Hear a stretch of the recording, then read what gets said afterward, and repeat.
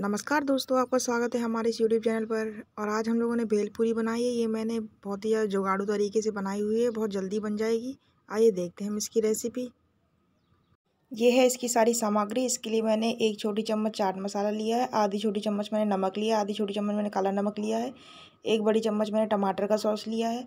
आधी बड़ी चम्मच मैंने हरी मिर्च का सॉस लिया है, एक बड़ी चम्मच मैंने लाल मिर्च का सॉस लिया है, थोड़ी सी धनिया मैंने कटी हुई ली है, आधा नींबू मैंने कटा लिया है, थोड़ा प्याज लिया है कटा हुआ, मैंने नमकीन ली है मिक्स वाली और आलू भुजिया ली है और मैंने हरी मिर्ची ली है, टमाटर लिए हैं।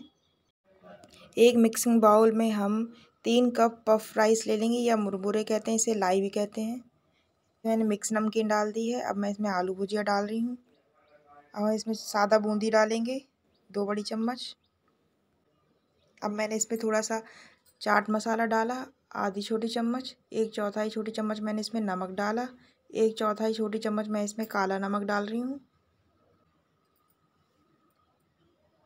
अब मैं इसमें टमाटर डालूँगी कटे हुए। अब प्याज डाल रहे हैं इसमें हम। अब कटी हुई धनिया मैं इसके ऊपर से डाल दूँगी। अब मैं इसमें ग्रीन चिली डाल रही हूँ, बारीक कटी हुई।